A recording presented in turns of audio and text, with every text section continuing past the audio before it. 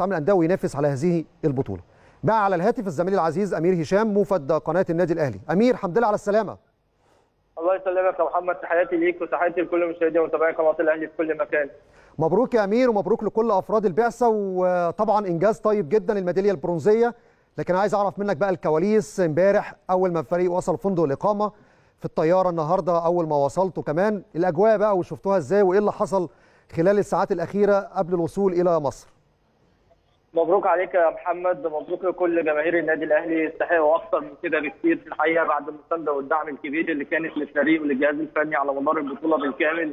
كان ليهم دور كبير جدا كل الجماهير كانت موجودة في المونديال وأزروا كل اللاعبين على مدار الثلاث مباريات. حتى بعد انتهاء مباراة الأهلي على مدار مباراة النهائي ما بين تجرس وبايرن ميونخ كانوا بيشجعوا وبيهتفوا للاعيبه النادي الأهلي وبيهتفوا هتافات النادي الأهلي. كان دايما هتافاتهم المعروفة جدا تتعلق ببطولة دوري أبطال أفريقيا والمطالبة بالبطولة التاسعة والمطالبة بالسوبر الأفريقي والسوبر المحلي.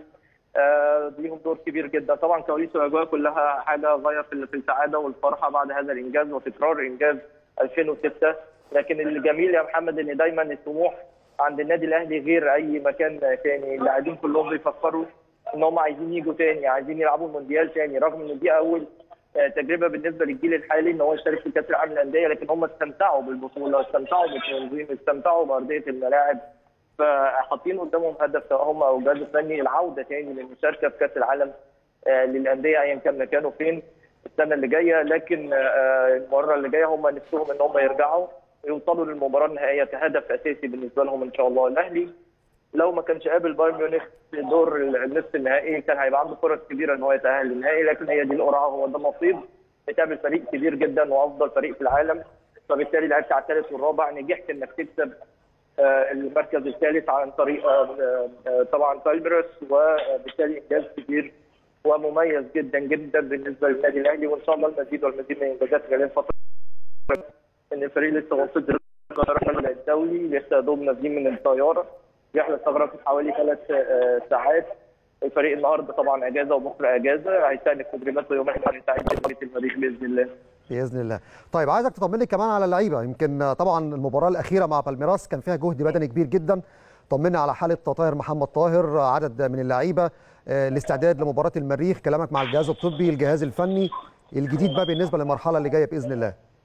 يعني اللاعبين كلهم بخير يا محمد كله زي الفل الحمد لله. حتى أنا اطمنت من الطبي على علي معلول علي معلول حالته كويسة جدا يقدر إن شاء الله بإذن الله تدريجيا يشارك في التدريبات الجماعية ما فيش أي عائق إن شاء الله. من خلال إن هو يبتدي عن طريق بعض الفقرات وبعد كده يندمج في التدريبات الجماعية مع الفريق. في فرص إن هو يلحق مباراه المريخ وفرص كبيرة بإذن الله تعالى. يمكن بس صلاح محسن عنده شد في العضلة الأمامية لسه هيتم التعامل مع الإصابة دي على مدار الأيام القليلة المقبلة. أعتقد هيغيب مش أقل من من أسبوعين بالنسبة لصلاح محسن آه لكن فيما عدا ذلك الكل يعني حالته جيدة كل كمان معنويا مبسوط جدا بهذا الإنجاز ومدي الإنجاز ده مدي دفعة كبيرة جدا للاعبين فيما هو قادم تحديدا بداية من التحدي الأفريقي الهام جدا بالنسبة للنادي الأهلي وجماهيره مرورا بالتحديات المحلية المختلفه سواء كأس مصر أو بطولة الدوري البطولة المفضلة بالنسبة للنادي الأهلي وجمهوره. آه فالأمور الحمد لله ماشية بشكل جيد والكل هنا يعني مبسوط وإنجاز كبير جدا بالنسبة للنادي الأهلي يا محمد. كهربا وحسين الشحات طمنا عليهم. خرجوا امبارح بالليل لما وصلتوا الأوتيل ولا استنوا لغاية النهارده الصبح؟ ما شفناهمش غير النهارده. النهارده الصبح. للأسف. النهارده الصبح بس خرجوا من من العزم اللي كانوا آه. فيه. آه كانوا زعلانين جدا إن هم ما حضروش طبعا التسليم ما حضروش. آه ألف مبروك ألف مبروك ألف مبروك ألف مبروك. ربنا يخليك يا يا محمد اعضاء مجلس النادي الاهلي طبعا في استقبال البعثه المكياني استقبال جيد جدا في الحقيقة بالنسبة للبعثه ربنا يخليك شكرا شكرا. أيوه محمد. أعضاء مجلس إدارة الأهلي في المطار في استقبال البعثة. آه آه بالظبط يعني استقبال جيد جدا بالنسبة للفريق في الحقيقة. الأمور كلها جيدة. خليني أكلمك عن طاهر عن عفوا عن حسين والكهرباء كانوا زعلانين إن هم طبعا مش موجودين في المباراة اللي توج فيها النادي الأهلي الميداليه البرونزيه لكن عندهم اصرار كبير إن هم يرجعوا تاني ويبقوا موجودين. ما كانوش يقصدوا اطلاقا إن هم يغيبوا عن هذه المباراة لكن ده اللي حصل. وهم يعني مبسوطين جدا بالانجاز كله يا محمد. قول لي يا أمير في الكواليس أنا عارف طبعا موجودين امبارح في العزل وكان في security على كل غرفة لحسين والكهرباء لكن امبارح الكابتن محمود الخطيب كان حريص والكابتن سيد والشناوي كمان كابتن الفريق إن الشهادة والميدالية تكون موجودة. امبارح بعد الماتش على طول. آه بالظبط حصل كده فعلا وخدوا استلموا الميداليات فور ما آه، سمح ب آه، يعني مقابلتهم بشكل مباشر.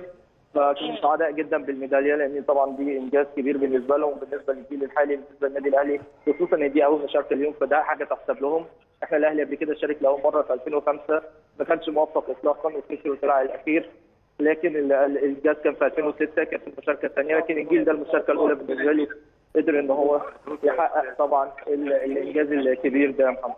أمير هشام موفد قناة النادي الأهلي بقول لك مبروك وحمد لله على السلامة. يمكن طبعا إنجاز طيب جدا وحاولنا قدر الإمكان نعرف من أمير اللي حصل خلال الساعات الأخيرة. وطبعا حسين الشحات وكهرباء عشان أقول لكم يعني آه، فكرة الإجراءات الاحترازية والفقاعة الطبية والبروتوكول اللي وضعه الاتحاد الدولي في هذه البطولة كان صارم جدا. ما كانش فيه أي تهاون خالص.